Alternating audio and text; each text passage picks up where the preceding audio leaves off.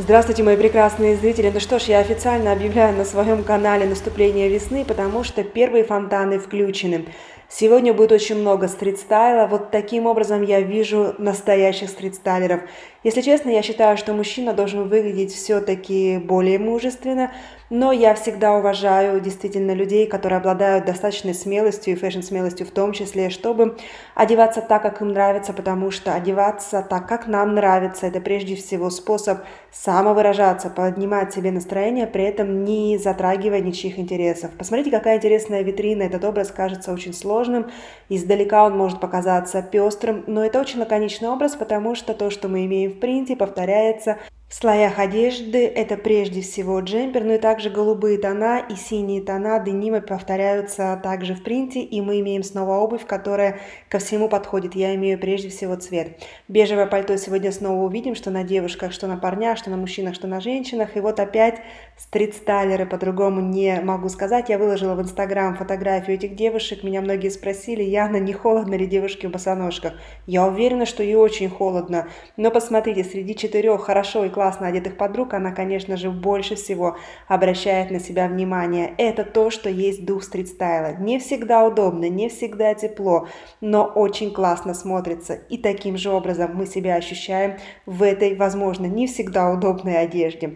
Недавно я ходила в парикмахерскую, и я обратила внимание на еще одну особенность – мужского стиля здесь, в Италии. Это, конечно же, стрижки. Пришел парень, я сначала не поняла, что вообще он собирается делать, потому что, на мой взгляд, с его волосами было все в порядке.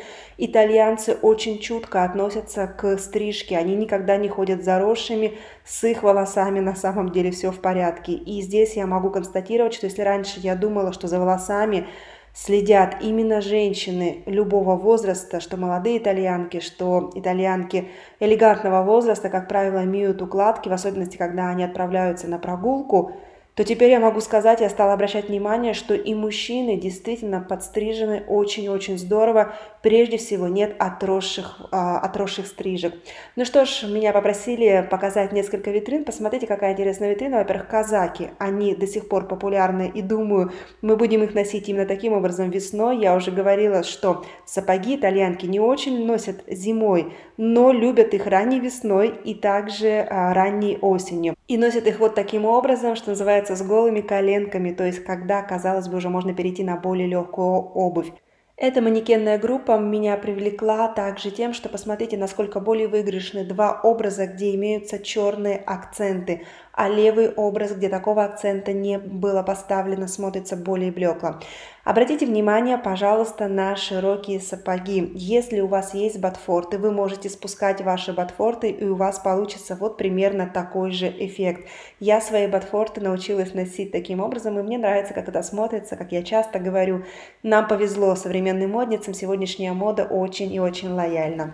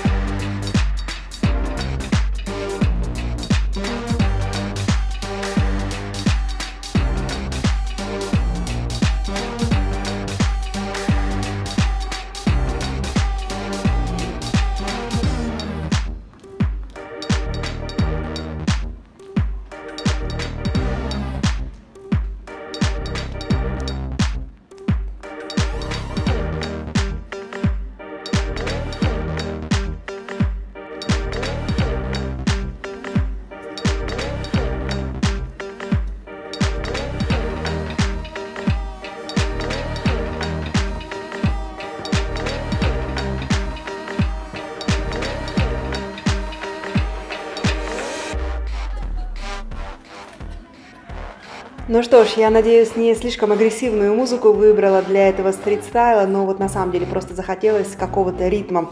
Сейчас я покажу вам витрины, которые мне не нравятся. Я бы никому не, рекомендовала так одеваться. Это витрина Miu Miu. Вещи стоят каких-то баснословных денег. На самом деле я всегда очень спокойно относилась что к Prada, что к Miu Miu, что вообще к творению Миучи Prada. И могу сказать, что вот здесь мне вообще ничего не понятно. Я не люблю такой фонарик рукав. Мне кажется, он мало кому может идти. Это обувь, но это вообще что-то что, -то, невообразимое. Я уже показывала в прошлом видео подобную обувь. А такие сумки имитируют полностью пластиковые сумки, которые были выпущены лет 10 назад, они у меня были. И вот противовес покажу вам витрину, которая мне очень-очень нравится. И хочу обратить ваше внимание, что это уже весенняя витрина, это уже весенний лук. И снова посмотрите, как лаконично, как красиво. Это тренч, который можно носить как платье, и я так делаю со своими тренчами. У меня есть тренч черного цвета и бежевого цвета, прекрасно носится на нижнее белье как платье. И посмотрите, как красиво, компоновка очень э, лаконичная, не более двух цветов, э, пуговицы по принципу контрастности сюда используются, все очень красиво. И снова хочу показать вам ботфорты, я очень люблю ботфорты. Это мега-супер высокие ботфорты, и если они у вас есть, как я сказала в начале видео, вы можете их спустить и получить вот такое достаточно достаточно широкое голенище. Очень мне нравится такой оливковый цвет, мне кажется, он много кому идет. Тренч стоит 395 евро, если я вижу хорошо, и 385 евро стоят сапоги.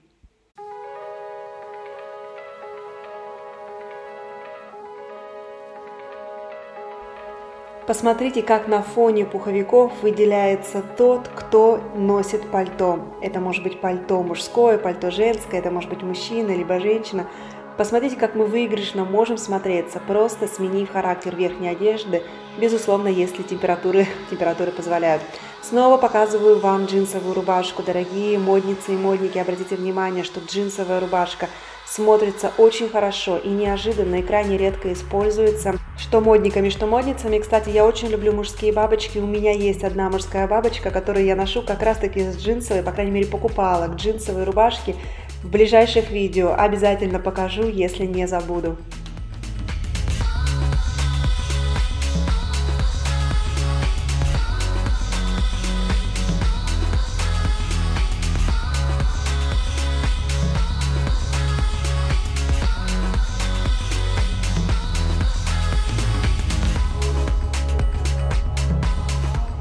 Кожаные леггинсы либо брюки с шубой смотрятся очень хорошо, но и с пальто также. Мы их встретим либо в этом видео, либо в следующей нарезке, которые я отсняла сегодня.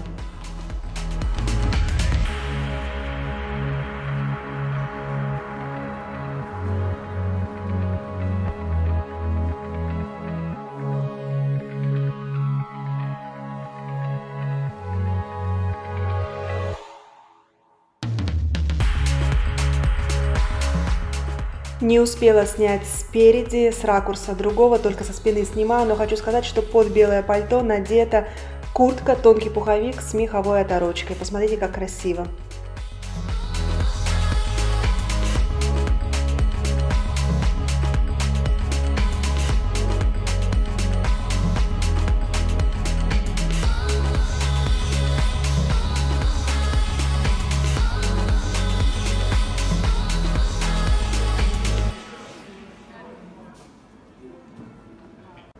Вот так меня видят стрит-стайлеры, которых я снимаю. Я всегда стараюсь улыбаться, я об этом говорила, чтобы показать людям, что да, мне нравится, как они выглядят, и на самом деле я Редко у кого вызываю подозрения, люди понимают, что я их снимаю, и часто они понимают, почему я это делаю, потому что я часто говорю, когда мы одеваемся красиво, нам все-таки приятно, приятно, когда это кто-то замечает. Ну что ж, вот такое видео у меня сегодня получилось. Э, был интересный вопрос, почему я прощаюсь на середине видео, но на самом деле это просто, наверное, мой стиль, хотя, возможно, стоит это делать действительно в конце. В конце хочу обратить ваше внимание на этот лук. Очень хорошо смотрится белая водолазка под бежевое пальто, но также черная тонкая водолазка. Это то, что мы можем действительно позаимствовать из мужского гардероба. Очень часто на витринах э, я показываю, как мужские луки закомпонованы водолазка черная, либо белая, плюс классический пиджак двубортный, либо однобортный. Ну и что ж, напоследок небольшая подборка обуви. Сегодня она была необычной. Здесь хочу, конечно же, обратить внимание на брюки. Они очень-очень красивые. Я очень люблю такие дресс-кодовые брюки, как я говорю часто их характеризую именно так. Самые обычные спортивные обуви, либо а спортивные. Я же на этом с вами прощаюсь. Желаю всем чувствовать себя на стиле, выглядеть классно, хорошо, за небольшие деньги, за минимум потраченного времени, без больших усилий. Увидимся очень скоро. Это была Яна Скворцова. Всем пока-пока.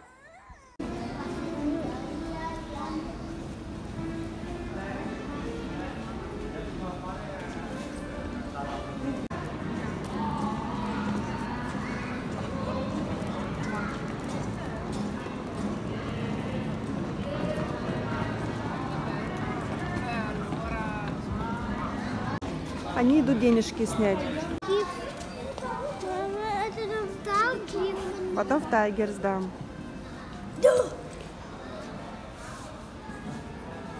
Ребята, не толкаем меня.